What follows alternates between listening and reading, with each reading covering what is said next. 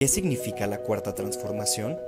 El respeto a la vida de todos los animales, en donde las pruebas para productos cosméticos, las peleas y el maltrato está empenado por la ley, porque para transformar a México solo se necesita legislar pensando en.